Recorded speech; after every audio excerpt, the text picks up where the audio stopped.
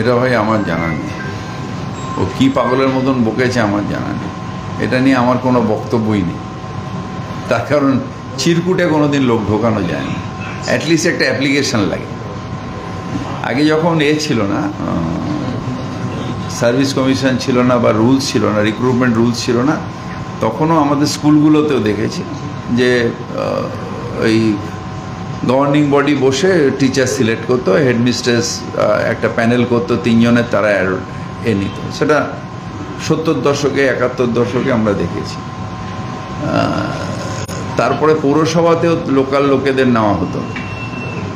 তার কারণ লোকাল লোকেরা এখনও মানে আমার, এখন তারা মারা গেছে। আমাকে, আমি যখন নতুন নতুন কাউন্সিল আরে একটা কর্পোরেশনে একটা ঢুকিয়ে দাও না, ছেলেটা বসে আছে। মানে এরকম মেন্টালিটি ছিল। দিদি, কর্পোরেশনে এখন আর রম ভাইয়ের লোক ঢোকানো যায় না। মানে এটা আগেকার দিনের লোকেদের চিন্তা। ছেলে বসে যায় তো লোকাল কর্পোরেশনে কাজ করবে।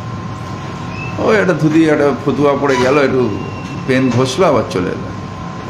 তো এটা আগে হতো, সত্তর দশকে হতো। কিন্তু যখন থেকে রিক্রুটমেন্ট রুলস তৈরি হলো আর আর তৈরি হলো, তারপর থেকে আর এই ফেসিলিটিটা কোথাও নেই।